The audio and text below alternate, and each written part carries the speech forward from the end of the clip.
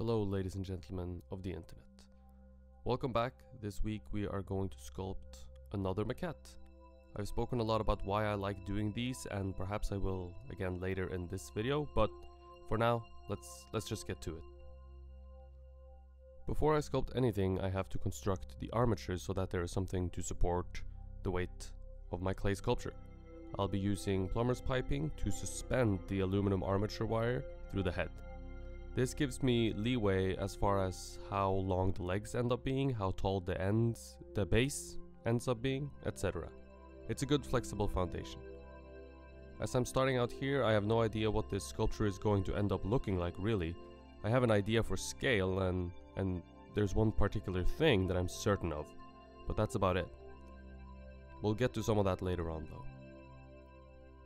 I have some thin square wire that I bend over itself and then twist the middle, locking the armature wire together. This twisted part ends up being my torso. I then cut the top where the wires meet and this is my arms and legs. Pretty straightforward and not my original design at all. I don't know who came up with it, but I learned it from watching a demo that Joe Duchel did many many many years ago. The arms and legs need some help to make sure clay will grab onto them properly and not slide around on the armature. To ensure this, I wrap the armature in a thinner aluminum wire, which is round, not that it really matters, but... The torso doesn't really need to be wrapped as the twist will hold, hold on to the clay well on its own. So, for the torso I don't wrap anything. Then I use another piece of wire attach it to the T-fitting at the top of my plumber's piping support, and attach the armature using a hose clamp and a zip tie. Now that it's all secured together, I can begin sculpting. The legs will eventually get stuck into a base of clay, which will take care of the armature swinging and swinging around and, and moving around and dancing on us so much. Once the armature of the torso is covered in clay, I start off by orienting my armature to my bony structures, which I've talked about in other videos too. This is so that the top of the rib cage lines up with where the head armature is sticking out, and so that the clay is fairly well centered on the armature. It matters a lot less in a small scale like this, but in larger scale where the weight of the clay can become quite a lot, it is very important to have equal distribution on both sides of your armature. I draw a straight line representing the rib cage and a straight line representing the pelvis, the center line of my rib cage and pelvis. I'll also draw a horizontal line 90 degrees to the center line of the pelvis to indicate the tilt of my pelvis. As the figure will be standing in, in a version, some sort of a contrapposto, meaning that all of his weight will be on one leg, the pelvis will tilt and I indicate that tilt with this horizontal line. This is a pretty standard pose that pretty much instantly reads as dynamic even though it's the pose of someone just standing still. It has movement and believability built into it. And we can thank the ancient Greeks for coming up with this for us.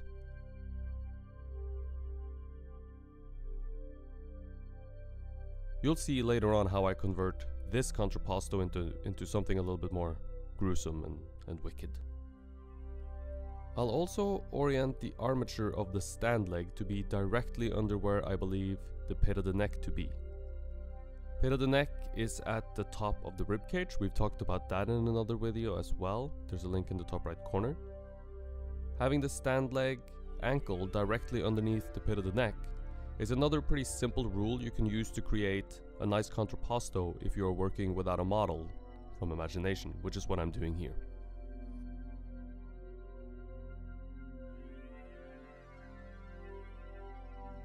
Later on, you'll see me connect the front and the back using these very same center lines that I establish here. And this is vital for a somewhat successful figure. If the front and the back are offset from each other, that's obviously a problem. Our figure would then exist at two places at the same point in time, which would be an issue for any living being, and since we're attempting to create something at least resembling a living being here, it's important to make sure the front and the back lines up well. Once the center line of the two bony masses, the pelvis and the rib cage has been established well, and the tilt of my pelvis has been established, we begin blocking in the sculpture at a furious pace. Actually, I would always recommend not blocking things in at a furious pace, but with patience, but things are obviously sped up here, so that's why I that's why we're blocking things in at a furious pace. In real life it took a long time.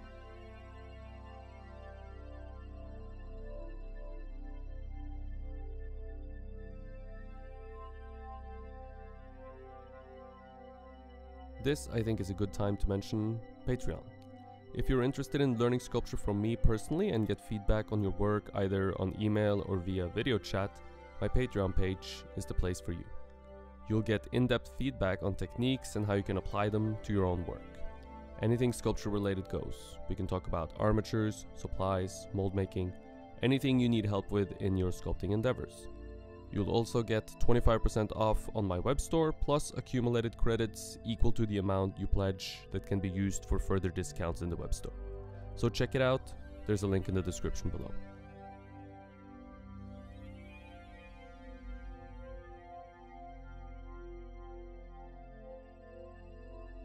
As with any sculpture I make, I start with what's most important to me. And for me, that's almost always the torso and the stand leg.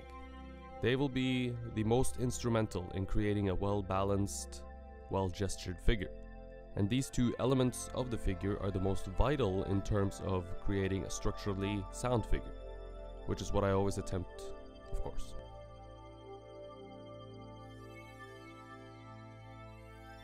I keep in mind that widths are forgiving and easily adjustable, and heights are not. So I try to build a figure that is a little bit too narrow but has the correct heights. However, I'm not extremely precious with something like this. Good proportions is not what I'm after here. I'm not even necessarily after good structure, to be honest.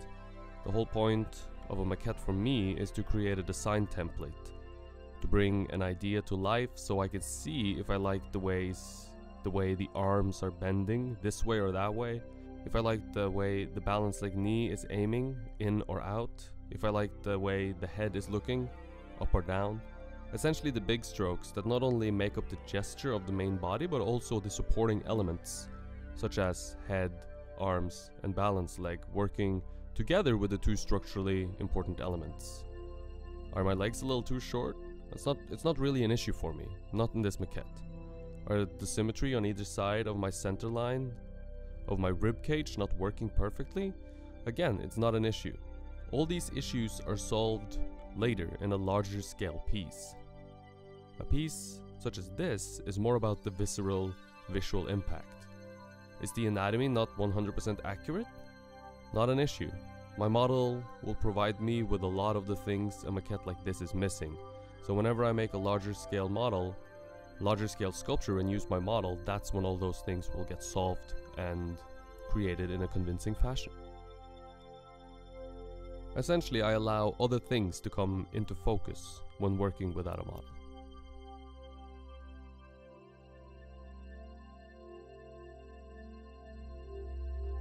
Because I gloss over so many aspects of figure sculpture that I normally wouldn't gloss over, it allows me to work very fast as well. Instead of spending months on a sculpture focusing on every aspect of creating a good figure sculpture, I get to spend a few hours. Something like this sculpture takes me maybe 6 hours over the course of a few days. I try to only sculpt a few hours at a time as I find my, my energy runs out real quick. Usually I'll spend the day sculpting for a few hours and editing or writing a video or making molds and cast for the rest of the hours. Especially when working from life, I find my focus is limited and I get tired quickly. 3 hours of model time per day is, is more than enough for me to get tired. I do focus real hard whenever I have a model because the cost of the model comes out of my own pocket. I'm not in school anymore, and if I do work on my sculpture while not looking at the model, comparing the model to the sculpture, it's a waste of money. And looking at the model and comparing model to sculpture requires a massive amount of brain power. and I have read, though don't quote me on this, that the brain drains calories real fast. It takes a lot of energy. And maybe maybe that's why I'm skinny cuz I think all the time. Thinking. That's my excuse for being skinny and for eating whatever I want whenever I want.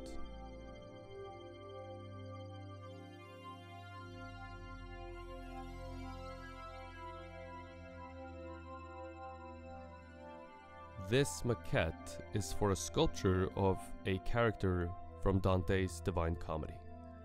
From the part where Dante and Virgil are heading down into the circles of hell, which is the first part of the book, the Inferno part. In Canto 20, or, or chapter 20, they enter the eighth circle, Bolgia 4, and meet the fortune tellers and soothsayers, people who have attempted to penetrate the future and they are punished for this by having their heads turned backwards and they are walking backwards for eternity. Which is a pretty shitty way to spend eternity.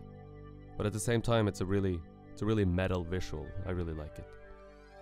Now their bodies are distorted in all kinds of fashion and we meet a bunch of people here and one of my favorites is Michael Scott which is it's, it's weird. This is a book from the 1300s, written by an Italian, and there's a guy named Michael Scott.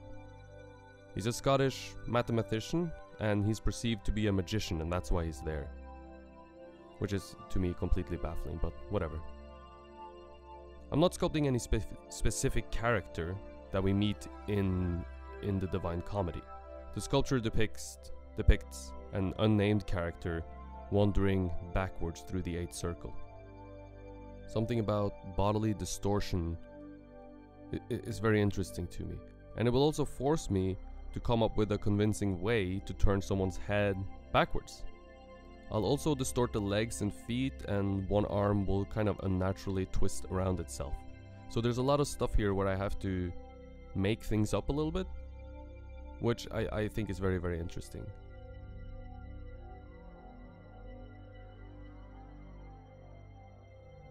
looking at people doing creature effects and creature sculptures for Hollywood and makeup effects, makeup sculpture for Hollywood was was kind of how I got interested in doing sculpture in the first place. So it feels really refreshing and a lot of fun to kind of go back to some of that and try to make it as convincing as possible. Essentially trying to blend makeup effects and Hollywood sculpture with fine art in a way. Not that I really think that there's that much, much of a difference in between them, honestly, but it's fun to try and blend different worlds together essentially.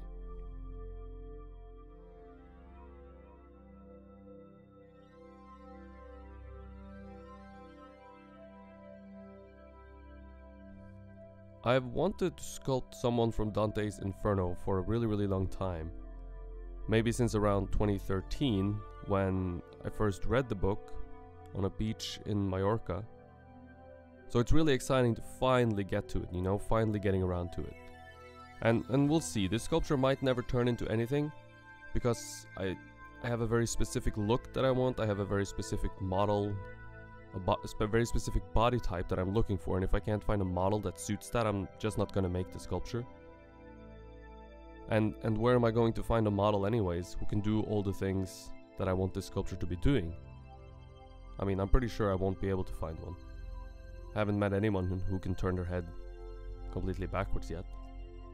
But I think piecing the human figure together from many separate poses and many separate views is, is a challenge that I enjoy immensely. And, and I've already undertaken this challenge a little bit in my latest project, the PT project.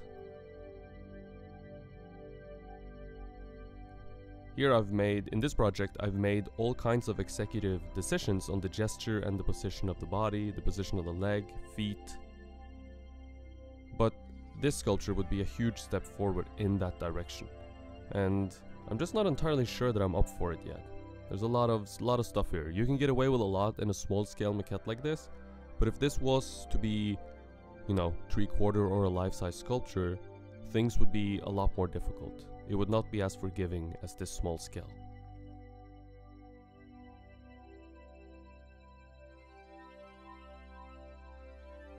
I hold my larger works to a different standard than these small maquettes.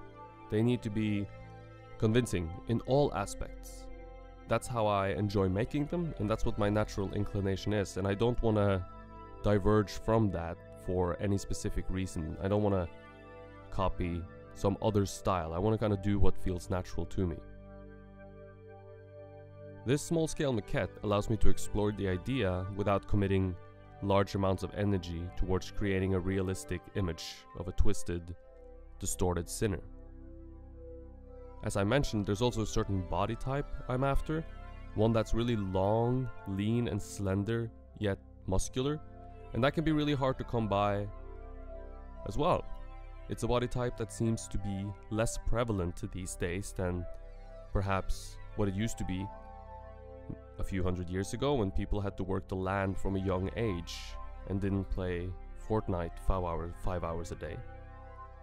Not that I'm against video games, actually, I, I love video games. And I certainly don't want to be working the land. I just wish that there was someone out there that did work the land and that they could come model for me.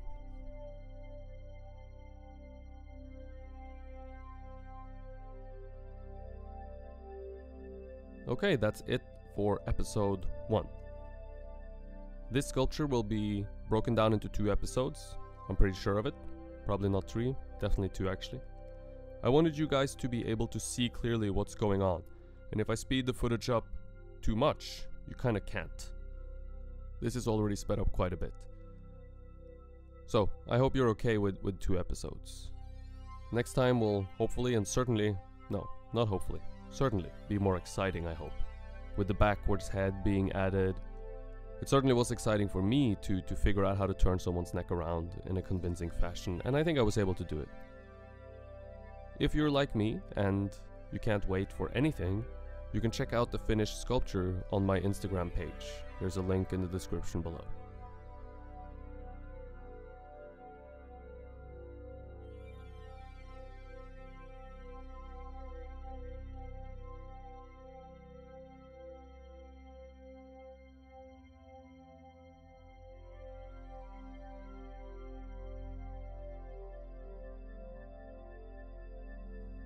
I hope you enjoyed the video and if you did, I encourage you to check out my Patreon page. I give feedback and critiques on people's work and we talk about whatever you need help with in your sculpting endeavors. There are several rewards, one of them being soon this maquette that you've seen me working on today. So check it out, there's a link in the description below.